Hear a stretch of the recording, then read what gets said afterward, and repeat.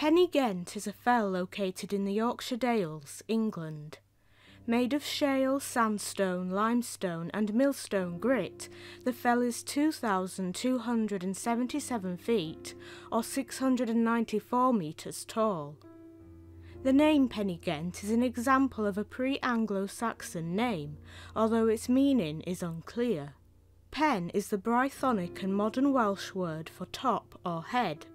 Ghent is traditionally translated as Hill of the Winds, but today hill on the border is more accepted. Close to Pen y Ghent lies the village of Horton in Ribblesdale. In September 2007, around 50 people, including journalists and detectives, attended a funeral at the church in the village.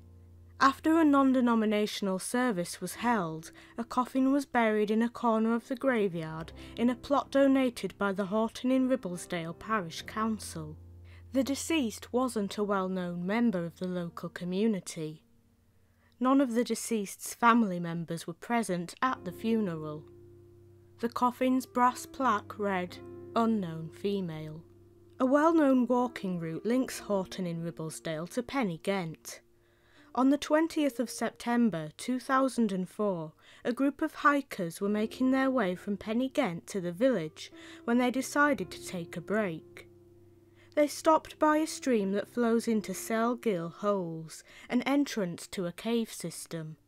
The hikers' plan to continue their walk was soon interrupted, however. Close to the entrance of the caves lay a body.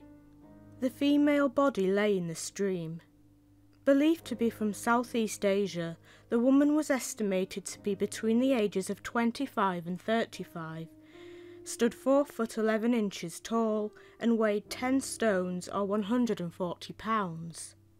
Her shoulder length hair was dark and she had brown eyes.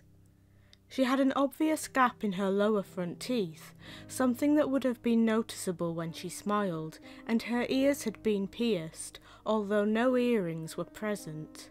The woman wasn't wearing any walking gear and her footwear was missing.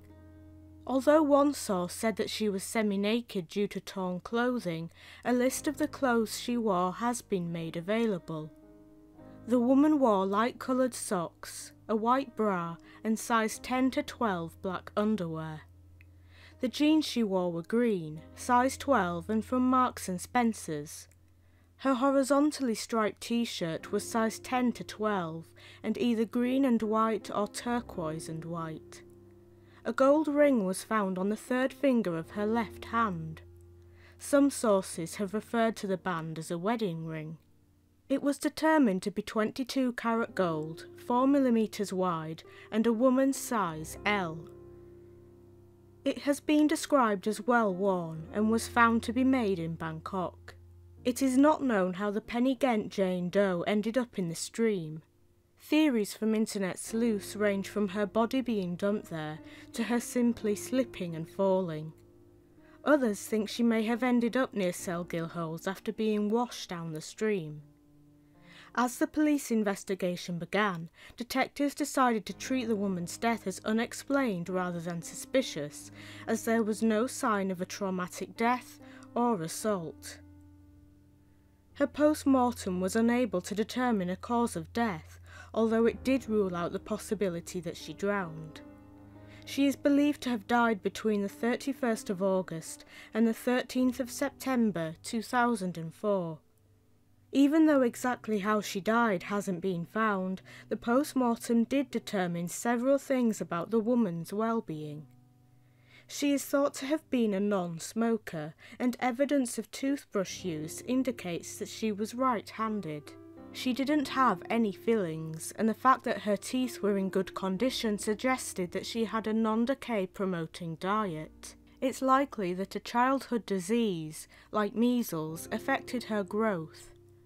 The woman had been pregnant in the past, and she had a coil fitted.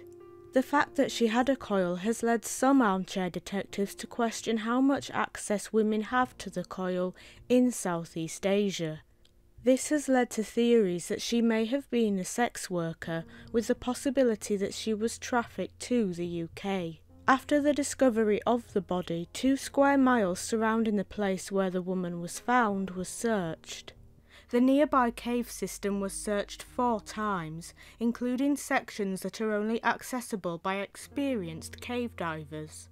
In the early stages of the investigation, walkers were questioned, and sightings of women in the area since the 1st of August 2004 that matched the deceased's description were looked into.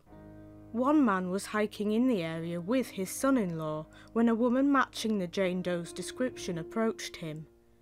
The woman asked for directions to Pen y Ghent. She didn't seem distressed. House to house inquiries were made and witness appeal leaflets in many languages were sent to local holiday accommodations and missing persons records were looked at. When the initial investigation didn't produce any leads, the police looked at other ways to determine the woman's identity. The police worked with foreign embassies and made an appeal on the BBC programme Crimewatch. The National Missing Persons Helpline produced an image of the woman.